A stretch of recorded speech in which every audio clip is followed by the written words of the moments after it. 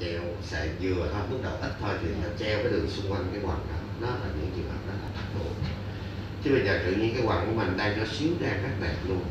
Mình cắt vô cái đặt túi giãn ra được.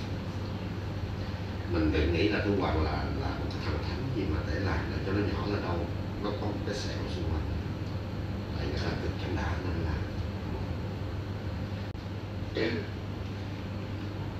nó cái này là mình gọi ít trà đó hoặc cái mình đang cảm đây là aerodynamic nó có bảo hành vỏ sơ 10 năm cái này cũng vậy luôn còn mấy loại bao kia sơ là bao bao sơ là nó chiếm tỷ lệ là hơn 80 phần trăm là do cơ thể mình nó nó phản ứng. Đặt cái túi vô nó bị kích ứng nó tăng tiết rồi nó, nó, nó, nó, nó cái bao nó, nó dậy rồi nó co thắt. Cũng có một số trường hợp là do yếu tố là mình đặt vô cái nó bị tụ kỹ thuật của bác sĩ làm là nó sẽ bị co sơ.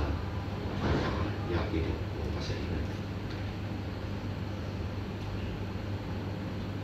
cái này á thì nó đứng ngực hơn.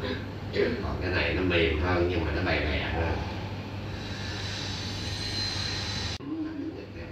Của mình làm ba trăm tư của ba trăm hai lên nó đẹp. Nhiêu trăm nhỏ quá.